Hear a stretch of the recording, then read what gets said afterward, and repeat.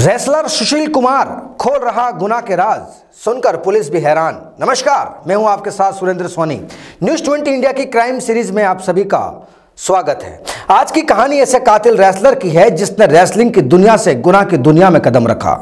पहले 19 दिन पुलिस के साथ चूहे बिल्ली का खेल, कहीं दाव पेच, लेकिन वह तो कुश्ती के अखाड़े में चलते हैं, क्योंकि यहाँ पहलवान सुशील कुमार कानून के साथ वह दाव पेच नहीं खेल सका, जो वो चाहता था।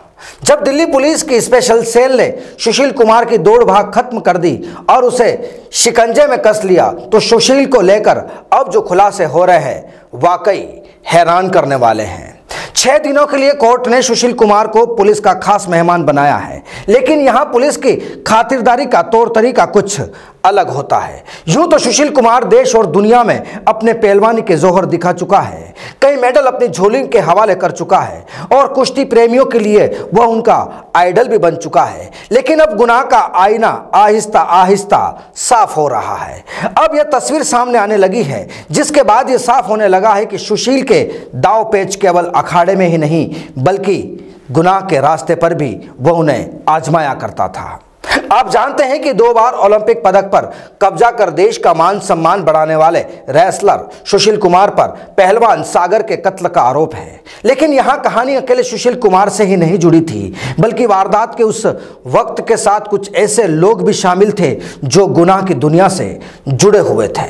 बस जब पुलिस को इस बात का पता चला तो फिर कहानी का एक एक पेरा साफ़ होता चला गया।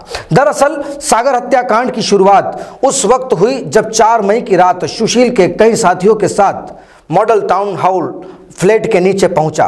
बताया जाता है कि उसके साथ अपराध की दुनिया में तहलका मचा देने वाले कुछ लोग भी शामिल थे। सुशील के साथियों के बुलाने पर सागर और उसके कुछ दोस्त बाहर आए। और करीब उन्हें आधा दर्जन कारों में बिठा लिया गया। इसके बाद सभी को छत्रसाल स्टेडियम ले जाया गया, जहाँ दोनों गुटों में जमकर विवाद हुआ। कहा जाता है कि यहाँ काला जखीड़ी के कुछ बदमाश भी मौजूद थे। इन लोगों ने हवा में कई गोलियाँ चलाई। सुशील और उसके साथियों ने सागर और उसके दोस्तों को लाठियों और डंडों से पीटना शुरू कर दिया। इसी दौरान सागर के एक साथी ने मौका देखकर पुलिस को खबर कर दी। पुलिस मौके पर पहुँची। वहीं सुशील समेत बाकी पहलवान मौके से फरार हो गए। बताया जाता है कि यहाँ से फरार होने के बाद पहलवान सुशील कुमार सबसे पहले शालीमार इलाके में अपने खास जानकार के पास पहुँचा। वहाँ से वह यूपी के मुजफ्फरनगर निकल गया। इसके बाद उत्तराखंड का रुख किया। बस फिर वह कभी यूपी, कभी हरियाणा, पंजाब और दिल्ली में अपने ठिकाने बदलता रहा। लेकिन जनाब, आखिरकार कानून से कौन बच सकता है? और ऐसा ही कुछ सुशील कुमार के साथ भी हुआ। पुलिस तफ्तीश में सामने आया है कि बाहरी दिल्ली में रहने वाले एक शख्स ने सुशील और उसके साथियों को करीब 10 से 11 सिम मुहैया कराई। वह उनकी मदद से लगातार इंटरनेट कॉलिंग कर अपने करीबियों के संपर्क में रहा। पुलिस सूत्रों का दावा है कि सुशील के पास रुपए खत्म हो गए थे और वह रविवार को रुपए लेने के लिए दिल्ली आया था और फिर वह पुलिस के बिछाए जाल में फंस गया। बहरहाल अभी सामने यह भी आया है कि रेसलर सुशील के कई आपराधिक गिरोह से ताल्लुकात रहे हैं और वे ऐसे मौके पर बदमाश सुशील के साथ होते थे।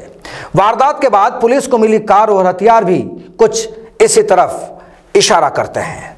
फ़िलहाल रेसलर सुशील छह दिन तक पुलिस के सामने राज खोलेगा और ज़ाहिर है कि जब सुशील से जुड़ी हुई कई अनजानी कहानियाँ भी सामने आएगी। जो वाकई हैरान कर सकती है। Bureau report news twenty India.